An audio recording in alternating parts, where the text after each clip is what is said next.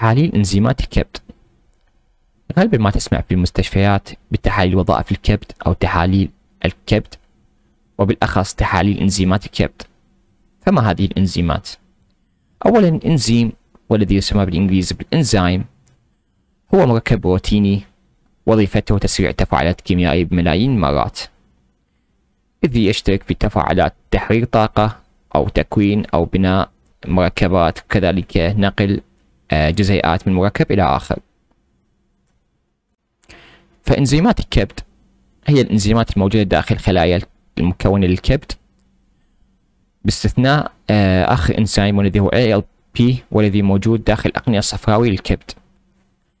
هذه الإنزيمات والتي هي أولا آه، AST والذي يختصر أو هو مختصر لل aspartate aminotransferase وكان يسمى سابقا بال GOT. والذي هو glutamic oxaloacetic transaminase والإنزيم الآخر الذي هو ALT الذي مختصر إلى ال alanine aminotransferase وكذلك آه، كان يسمى سابقا بال GPT والذي هو glutamic pyruvic transaminase ولدينا كذلك GGT الذي هو gamma glutamyl transferase وأخيرا ال ALP الذي هو alkaline phosphatase وهذا الإنزيم الأخير يوجد في الأقنية الصفراوية كذلك يوجد في العظام.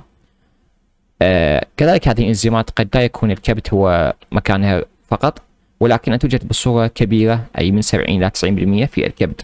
فذلك زيادتها أو نقصانها آه قد يشير إلى صورة كبيرة هناك سبب أو مشكلة في الكبد.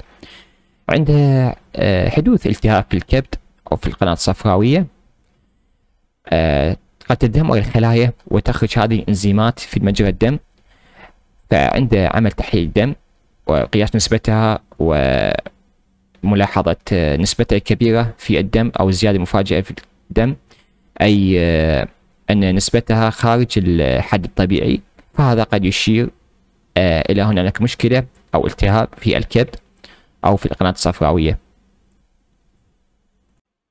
تزداد هذه الإنزيمات.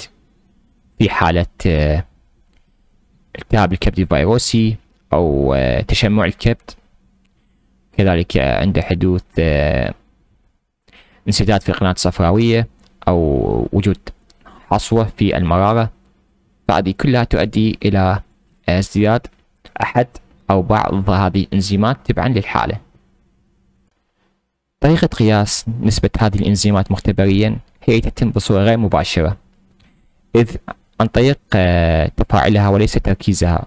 وهذا التفاعل يؤدي إلى نتاج مادة أخرى. هذا النتاج أو المادة الأخرى يتناسب طرديا مع تركيز أو وفرة الإنزيم.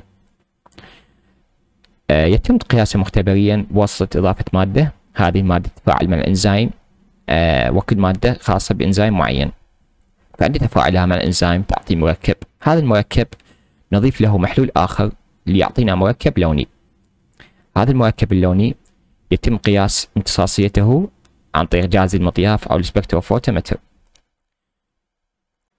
في المقابل هنالك نوعين لقياس التفاعل. فأما قياس بداية التفاعل أو كمية المادة المستهلكة أو آه، قياس نهاية التفاعل أو قياس كمية المادة الناتجة وهذا ما يسمى بال end points أي تفاعل واحد أو طريقة ذات القراءة الواحدة. قد يكون هناك طرائق أخرى لقياس الإنزيمات كما في الكرياتينين إذ آه، تؤخذ نقطة بداية آه، قريبة على بداية التفاعل وليس التفاعل بداية التفاعل نفسه ولكن نقطة قريبة على بداية التفاعل. تؤخذ القراءة وبعد ذلك تؤخذ قراءة ثانية قبل نهاية التفاعل. وليس نهاية التفاعل ولكن قبل نهاية التفاعل. تؤخذ قراءة ثانية.